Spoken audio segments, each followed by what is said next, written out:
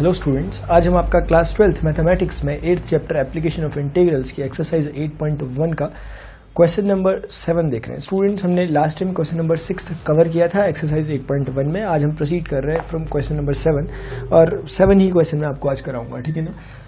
देखिए find the area of the smaller part लिखा हुआ है find the area of the smaller part of the circle x square plus y square is equal to a square cut off by the line x is equal to a upon root two ठीक है ना? आपको बोला गया कि x square plus y square is equal to a square नाम का एक सर्कल है इस इक्वेशन का। और एक x is equal to a upon root two नाम की लाइन होती है। हमें क्या शो करना है इसमें? हमें एरिया फाइंड करना है, ठीक है ना? हमें स्टूडेंट्स यहाँ पर find the area of the smaller part of the circle cut off by the line this ठीक है ना? तो अगर इसे मैं ड्रॉ करूँ तो कैसा ये दिख पाएगा? वो आपको दिखाता हूँ ताकि बातें समझ में आ पाए। मुझे बताइए स्टूडेंट्स ये x square plus y square is equal to a square किसे रिप्रेजेंट कर रहा है? यस ऑब्वियसली एक सर्कल को रिप्रेजेंट कर रहा है और एक स्टैंडर्ड सर्कल को रिप्रेजेंट कर रहा है। स्टैंडर्ड सर्कल का मतलब हुआ जिसका सेंटर ओरिजिन पर रहता है। आप सब जानते हैं इस बारे में। ए इसका रेडियस है क्योंकि x square plus y square is equal to r square से कंपेयर किया या फिर ए स्क्वायर से कंपेयर किया तो रेडियस आर ए मिला आपका, ठीक है ना? यानी रेडियस कितना मिला? ए सेंटर का है ओरिजिन यस इतनी बातें स्टूडेंट्स हम इस सर्कल के रिगार्डिंग जानते हैं कि इसका ओरिजिन ज़ीरो ज़ीरो ओरिजिन पर होगा, इसका सेंटर क्लियर अब हमसे क्या बोला गया कि find the smaller region of the circle bounded with this line और cut off by this line ठीक है ना? Found the smaller region of this circle cut off by this line x is equal to a upon root two मुझे बताइए ए upon root two अगर हम decision लेके कहाँ होगा? हो सकता है एक पॉजिटिव नंबर हो या हो सकता है एक नेगेटिव नंबर हो। उससे फ़र्क नहीं पड़ेगा क्योंकि रीजन अगर आप इधर आएँगे, मान लिया टू डिस्टेंस यहाँ अगर कट करवाते हैं, या टू डिस्टेंस वहाँ आकर कट करवाते हैं तो सिमेट्रिक है, इसलिए रीजन सेम आएगा। इसलिए ये कोई आपका कंसिडरेशन की चीज़ नहीं है कि ए पॉजिटिव होगा या नेगेटिव होगा जो भी हो, जैसे कि मैं समझ लेता हूँ कि x is equal to a upon root two पहले इसे डिसाइड कर ले। ये a comma zero zero comma a और आपका ज़ीरो कॉमा माइनस ए और ये आपका zero comma sorry minus a comma zero होगा। ठीक है ना? तो अगर मैं बोलूँ कि ए अपॉन रूट टू का होगा तो a upon root two a से कम नंबर है, छोटा नंबर है तो वो डेफिनेटली यहीं कहीं होना चाहिए, ऐसा ही कहीं होगा। एग्जैक्ट बनाए, ऐसा कोई ज़रूरी नहीं है, आपको बस दिखा देना शो कर देना। लेकिन लोकेशन ठीक ठाक होनी चाहिए। ये जो लाइन आपकी मैंने ड्रॉ करी स्टूडेंट ये रिप्रेजेंट कर रही है x is equal to a upon root two को। बोले, नहीं कर रही क्या? अब हमें क्या करना था student we have to calculate the area we have to calculate the minor area of the circle cut off by this line मुझे बताइए, ये जब लाइन ने कट किया इस सर्कल के एरिया को तो इसने दो रीजन बनाए। एक तो इस लाइन के इधर वाला सर्कल का एरिया जो कि बड़ा रीजन दिख रहा है मेजर एरिया है। जबकि इस तरफ़ वाला, जो कि सिर्फ़ इतना सा दिखाई दे रहा है, ये एक माइनर रीजन कहा जा सकता है। ये एक माइनर एरिया है जो इस लाइन ने कट किया। यानी कि हमें स्टूडेंट सिर्फ़ ये वाला, अगर मैं शेड कर दूँ तो ये शेडेड रीजन हमें स्टूडेंट्स क्या करना है? फाइंड करना है। आप क्वेश्चन दोबारा से पढ़ें और समझें कि क्या यही नहीं पूछा था हमसे यही पूछा हुआ है। ठीक है ना? आप आराम से देख लेना, यही पूछा गया था। अब हम करते हैं इसे कैसे सॉल्व हो सकता है। इतना भी समझ में आ रहा है। वो तो हमारे डायग्राम का थोड़ा सा एरर है, जिससे मुझे यहाँ से ऐसा दिख रहा है कि ये थोड़ा बड़ा और थोड़ा कम। वैसे लगभग लगभग सिमेट्रिक ही है। लेकिन हम जानते हैं कि ये रीजन जितना होगा, उतना एग्जैक्टली रीजन यही होगा। सिमेट्रिसिटी है क्योंकि। ठीक है ना? वो तो लाइन मैंने थोड़ा ऊपर या नीचे जो भी करा सर्कल इतना स्टैंडर्ड नहीं बना पाया मैं अच्छा सा। लेकिन फिर भी जितना एरिया इसका होगा अपर पार्ट का उतना ही लोअर पार्ट का होगा। यानी अगर हम अपर पार्ट का एरिया निकालने में कैपेबल रहे, उसका टू टाइम्स कर देंगे तो क्या लोअर पार्ट का या फिर कंबाइन एरिया निकल नहीं जाएगा क्या? टू टाइम्स करने से। तो स्टूडेंट्स हमें क्या करना है? हमें जस्ट इस वाले रीजन का एरिया निकालना है। मैं कुछ इनको नेमिंग कर लेता हूँ ताकि आसानी हो जाए। इसे मैंने पी कह दिया, इस पॉइंट को मैंने क्यू कह दिया, इस पॉइंट को मैंने आर कह दिया। प्रॉब्लम तो नहीं है। मतलब क्या हुआ कि अगर आप एरिया ऑफ़ हमें निकालना क्या था बेसिकली हमें निकालना है P Q R S P वाला रीजन हमें निकालना है area of P Q R S P हमें ये निकालना है। इसको निकालने के लिए हमने बोला, क्यों ना ऐसा कर दिया जाए कि area of P Q R P निकाल लें area of P Q R P निकाल लें और इसका टू टाइम्स कर लें। तो क्या एरिया नहीं निकलेगा? निकल जाएगा। तो इसका मतलब हमें स्टूडेंट्स क्या कैलकुलेट करना है इस area of P Q R P को। यानी कि जो अपर पार्ट का रीजन है, ये वाला, इसे मैंने मुझे फाइंड करना है, जैसे कि मैं इसे लाइनिंग से रिप्रेजेंट कर लेता हूँ, मैं इसे फाइंड करने वाला हूँ। इसका टू टाइम्स कर दूँगा रिजल्टेंट आ जाएगा। बताइए, ये निकालना क्या मुश्किल है? बिल्कुल भी नहीं मुश्किल, क्योंकि हम इस पर क्या करेंगे? एक स्ट्रिप सपोज़ कर लेंगे, जैसे कि मैंने मान लिया यही स्ट्रिप सपोज़ कर ली। ये मैंने एक स्ट्रिप इस पर ले ली, मान लिया। अब ये स्ट्रिप जो होगी, ये वाई डी एक्स नाम का एरिया रखेगी, क्योंकि इसकी वर्थ डी एक्स होगी। और मुझे ये भी बता दें कि ये स्ट्रिप कहाँ से मूव करेगी? यस एग्जैक्टली ये स्ट्रिप मूव करेगी पॉइंट पी से और पॉइंट आर तक, यहाँ से यहाँ तक। तो नेसेसरी क्या है कि आपको पी का कम से कम एक्स कोऑर्डिनेट पता हो, जो कि पता है। मतलब यहाँ तो सब कुछ काम होने पे लगे हुए हम कुछ करना भी नहीं चाह रहे, फिर भी मतलब होता रह रहा अपने आप। ये पॉइंट क्या आपको नहीं पता? आप जानते हैं कि x is equal to a upon root two की लाइन है, और इस पॉइंट पर वाई ज़ीरो होगा। डेफिनेटली ये point a upon root two comma zero होना चाहिए। क्योंकि इसका कोई भी पॉइंट चेक कर ले, सबका एक्स आपका ए अपॉन रूट टू ही होगा, बस वाई बदल रहे होंगे। और इस पॉइंट पर हम जानते हैं वाई ज़ीरो होता है तो पॉइंट पूरा तरीके से नोन है। मतलब हमें पता चल गया कि अगर टू टाइम्स वहीं से चलता हूँ। Area of P Q R P निकालना मैंने कहा एक एक्स के अलॉन्ग एक स्ट्रिप ले लो वाई डी एक्स जिसका वाई किसके हिसाब से वेरी कर रहा होगा? इसके हिसाब से, इसके हिसाब से, इसके हिसाब से। ये कौन है? यह है आपका सर्कल यानी सर्कल का वाई रिप्रेजेंट या फिर यूँ कहे वाई ऑफ़ सी लगा दी यानी सर्कल का वाई डिटरमिन करेगा, इसके स्ट्रिप के लेंथ को, इसकी वर्टिकल हाइट को बदलेगा या ना बदलेगा, या फिर किस हिसाब से बदलेगा, उसे रिप्रेजेंट करेगा, उसे डिटरमिन करेगा, आपका सर्कल का वाई इसलिए वाई ऑफ़ सी लिख देना ज़्यादा बेटर रहेगा।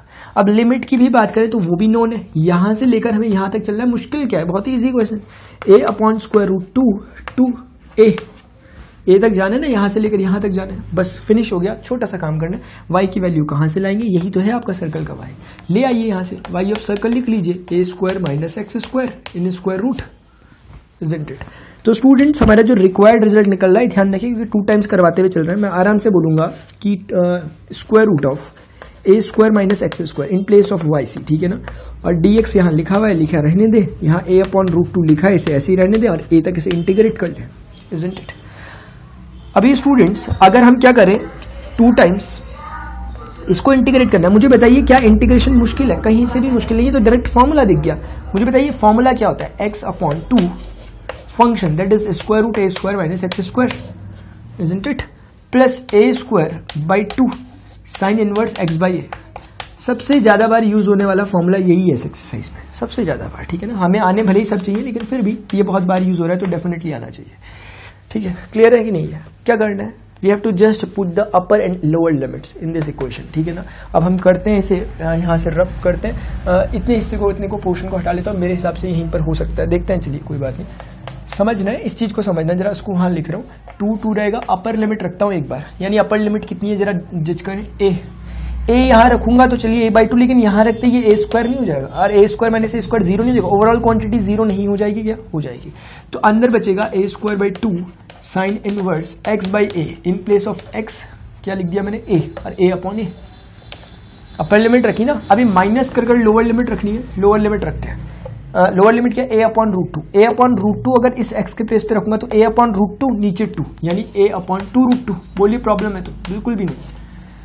A square minus x square मुझे बताइए, यहाँ साइड में कर लेता हूँ। A square minus x square x मतलब a by root two a by root two का square yes a square by two यही होगा इसका स्क्वायर ए स्क्वायर में से ए स्क्वायर बाय टू को आप माइनस करेंगे two a square minus a square that is a square by two आराम से देखना, नहीं आया समझ में, ज़रूर पूछ लेना। ये स्क्वायर रूट के अंदर लिखा हुआ है, ऐसे कर कर तो ये भी एक तरह से स्क्वायर रूट के अंदर ही आएगा। मैंने ना उसे कर कर दिखा दिया, ताकि मैं सीधे आंसर वहाँ पर नोट कर लूँ। मुझे बताइए, इस क्वांटिटी के अंदर स्क्वायर रूट के अंदर ए स्क्वायर बाई टू आ गया? मतलब कि स्क्वायर से इसका ही कट सकता है। नीचे वाले का नहीं घटेगा रूट टू बचेगा। मतलब ए बाई रूट टू आप करें आराम से अगर प्रॉब्लम हो रही है तो। ए बाई रूट टू ये हो गया। Plus students a square by two sine inverse x by a x कितना है? A upon root two x कितना है? ए अपॉन रूट टू और नीचे ए था तो ए को मैंने ले लिया। प्रॉब्लम तो नहीं है सब कुछ क्लियर है पूरी स्टोरी क्लियर है यस पूरी स्टोरी क्लियर हमने टू से सब कर रखा है upper limit minus lower limit कर दिया। अब इससे ज़्यादा हम क्या करें? कुछ नहीं। अब इसे सॉल्व करना है। मुझे बताइए, ये यहाँ से स्टार्ट हो रहा है, ठीक है ना? इसके अंदर की क्वांटिटी नेगेटिव इन सबके साथ बाहर कॉमन ले रखा है। अब मैं कुछ नहीं कर रहा, क्योंकि क्वेश्चन फिनिश हो गया। मैं इसे रब कर दूँ यहाँ से? आप नोट कर लीजिए पहले इतना। और मैं समझता हूँ कि इसे रब कर देना चाहिए हमने। इसे, ठीक है? क्योंकि इसका तो अब हमने जो काम करना था कर लिया। कैलकुलेशन एक तरफ़ रहेगा ना तो सही रहेगा। देखिए, ये टू है। टू को टू लिखा। अब जो जो है उसे मैं करते हुए चलूँगा। ये ए ए वन हो जाएगा। मुझे बताइए student sine inverse one can be written as sine inverse sine of pi by two and sine sine inverse gets cancel off तो पाई बाई टू बचेगा। ये इस चीज़ का आंसर ना, इसको इसको ऑब्ज़र्व करें, इसका आंसर सिर्फ़ पाई बाई टू बचा। तो मैं यहाँ लिखूँगा ए स्क्वायर बाई टू तो था। पाई बाई टू मेरा रिज़ल्ट आया। उसको मैंने ऐसे लिख दिया मल्टीप्लाई है ठीक है, बीच में। माइनस कर कर। यहाँ क्या बचा? A into a is what a square root two into root two is two and two into two is four है ना? प्लस और अच्छे से काम करना नेगेटिव पहले से बाहर ले लिए हुए रखना, ठीक है ना? प्रैक्टिस तभी कहता हूँ, इसी चीज़ की प्रैक्टिस होती है। देखिए ए ने ए को कैंसिल कर दिया। क्या बचा अंदर? अंदर बच रहा है। ध्यान रखिए, अंदर जो बच रहा है, उसे मैं लिख देता हूँ यहाँ सॉल्व कर कर। साइन इनवर्स देखिए a by root two sorry one by root two बचा, नहीं बचा। अब one by root two can be written is sine of forty five degree one by root two ना? आराम से देखें वन बाई रूट टू इसी की वैल्यू ये क्या बचा? पाई बाय फोर मतलब कि जो ये वाली क्वांटिटी है, इसका आंसर पाई बाय फोर आया। मतलब कि यहाँ पाई बाय फोर लिख देना बस एक छोटा सा कैलकुलेशन मामूली सा देना है इसे और आंसर आ गया आपका। कोई प्रॉब्लम है? नहीं, बिल्कुल बहुत इजी क्वेश्चन टू को टू लिखा. A square pi over two two ज फोर है ना?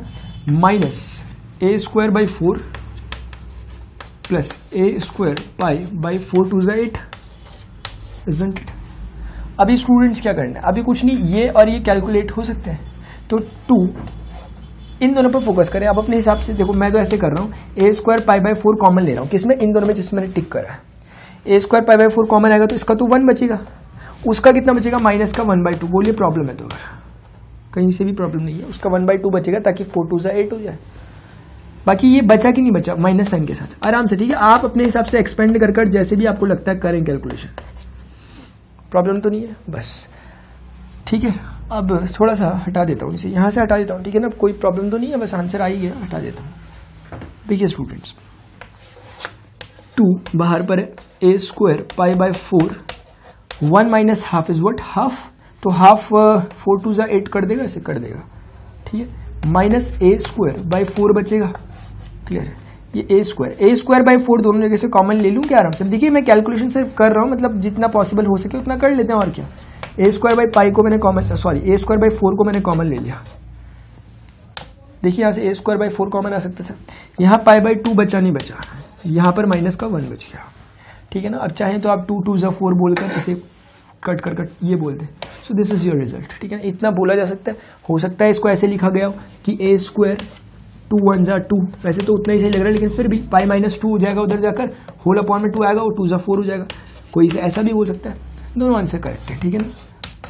समझ में आ गई बात तो स्टूडेंट ये था आपका एक्सरसाइज 8.1 का सेवंथ क्वेश्चन ठीक है ना? अब बाकी के जो क्वेश्चन है, हम उसे करते हैं आगे के जो भी एट्थ नाइन्थ जितने क्वेश्चन इसमें होंगे, उसे हम करेंगे अपने नेक्स्ट लेक्चर में, ठीक है ना? तो स्टूडेंट इन सभी पर आप प्रैक्टिस करें और इस, अगर आपको फ्यूचर अपकमिंग वीडियोज़ के वीडियोस नहीं आप तक पहुँचते हैं तो उसका रीजन होता है कि आपने सब्सक्राइब बटन को क्लिक नहीं किया होता है, या फिर क्लिक किया तो होता है, लेकिन उसके बाद आने वाला जो बेल आइकन होता है, उसे प्रेस नहीं किया होता दोनों को करना बहुत ज़रूरी होता है।